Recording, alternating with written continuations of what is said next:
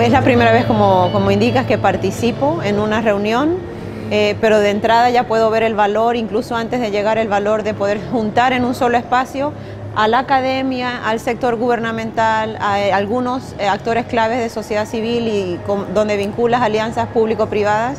en pensar juntos y en idear juntos propuestas para atender, para medir la pobreza multidimensional, pero lo que yo considero, sobre todo desde el sombrero de la OEA, lo más importante que es en cómo diseñar políticas públicas, cómo aprender de las políticas públicas que se han diseñado para atender la pobreza y hacerlo colectivamente. Eso yo creo que es el gran valor de tener una red donde todos pensamos juntos cómo medirla y cómo atenderla.